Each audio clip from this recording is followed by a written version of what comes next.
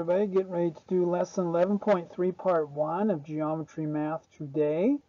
If you need note-taking guides or PowerPoints or classwork sheets, uh, email me here at animated PowerPoint math video at AOL.com. And today, 11.3 arcs and central angles. We have a uh, 40 points here uh, worth of classwork and we have 36 points here of notebook taking. So if you need a note-taking guide, get a hold of me for those. And teachers, today's bell work is uh, using the mid-segment for uh, theorem here. Find the value of x here. And then down here, can the side lengths form a triangle? Students, five minutes. Okay, welcome back for our solutions to today's bell work. Uh, for our number one up here, here is using your mid-segment theorem, which is 1 half of 24 will equal x here, which is 12. That's using your mid-segment theorem, students. And then down here, uh, will that, can these side lengths form a triangle? And the answer is no, because 6 and 22 is less than 29, so it will not in your notebook, students. Any two points A and B on a circle C determine a minor arc. So this would be a minor arc here, AB, and a major arc unless the points lie on the diameter. So you, will have always have a minor arc and a major arc unless it's a uh, semicircle. So students copy this down. If the measure of ACB, back to our original circle here, is less than 180, so the angle here, ACB, is less than 180, then AB and all points on circle C, AB and all points that lie in the interior of angle ACB form a minor arc. So uh, this forms, if it's less than 180, it will form a minor arc. And then a major arc is what's left over here. Points A, B, and all the points on circle C that do not lie on, on uh, arc AB form a major arc. So the points on this uh, other uh, side of a circle are part of the major arc. And then this is the minor arc. That's all. Okay, you name an arc by its endpoint. So minor arc AB would be because it begins here it ends there at AB going uh, clockwise. And then major arc here would be B, ADB. They call it ADB because we have a point here, so they go ADB for a major arc there. Use one other point on a major arc as part of its name to distinguish it from the minor. Otherwise, we'd have a major arc called the same thing as a minor. So we have to, we have to have another point here to distinguish it. The measures of a minor and a major arc depend on the central angle of the minor arc. So they depend on this angle here, which decides how many degrees are in the major arc. Notebook here, students. The measure, the measure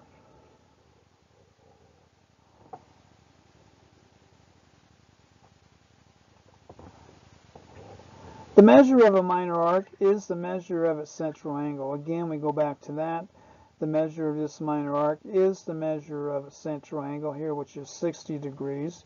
So the measure of minor arc AB would be 60 degrees. Then down here it would be 300 degrees because you know it would be this total circle minus this would be 300. Classwork uh, sheet here, part of your classwork. The measure of a major arc is the difference of 360 and the measure of the related minor. So we kind of covered that in the last slide. So the measure of the major is 360 minus the minor. In this case, it would be 60, so it'll be 360 minus 60. Again, another notebook slide here. A semicircle is an arc whose central angle measures 180 degrees. So a semicircle, this will be a semicircle here. It's 180 degrees. This is your central angle here. The semicircle is named by three points. Its measure is 180. So you just name, name it ACB here would be your uh, uh, your semicircle. Okay, then we get into our notebook slide here of some vocabulary, minor arc. Students, uh, in your own words, define minor arc. And then major arc, in your own words, students, define uh, a major arc. And then again, the measure of a minor arc, students, in your own words. This another notebook slide here, 10 points for this, a measure of a minor arc, and then the measure of a major arc define that in your own words here. And then in your own words, uh, this goes in your notebook, define semicircle, and then define congruent circles. We haven't covered that yet, so hang on to that. Well, you can come back to that. And I do notebook checks usually on Fridays, so have it ready. Okay, classwork page 10 here. Name and find measures of arc. So name the red arc and identify the type of arc it is. Then find its measure. So uh, DF is a minor arc here. DF is a minor arc. Its measure would be 40 degrees there. And then here, uh, the red arc in this case would be LMN. So LMN would be a major arc because it's more than than 180 degrees. It's more than this arc is here. So its measure would be 360 minus 110 would be 250 for the major arc of LMN. Now we go into I got to practice here. Name the blue minor arc. Name this blue minor arc and find its measure. And then students, this is you down here. Name the blue arc here, which is this, and find its measure. So the guide practice here would be the the name of it would be uh, arc DE. It goes like that, and the measure of of arc DE would be 130 degrees here. Then down here. Okay, moving on now. Class worksheet page 12. Postulate 16, arc addition postulate.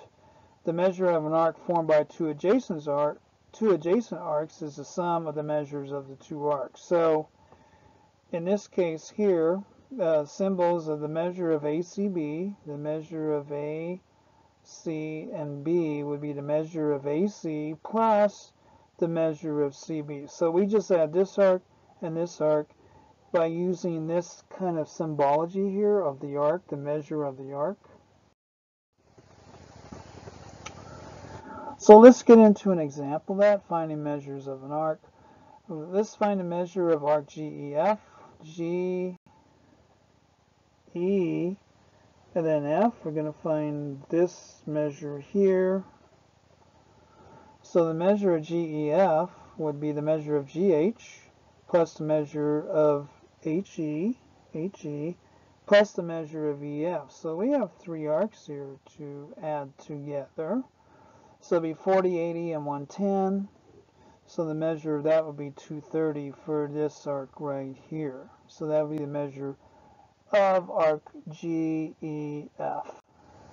Okay, let's find the measure of these arcs now. Page 14 on your class worksheet.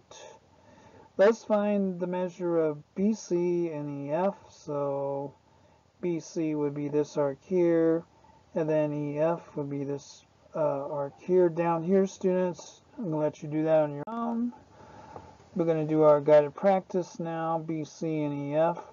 So the measure of BC will be 58, and then EF, the measure of EF, which is this one here, will be 58 as well. And that is your lesson for today. 11.3 Part 1, Geometry Math. If you need note-taking guides or PowerPoints and or other videos for this course, email me here and I'll get that out to you. Thank you very much.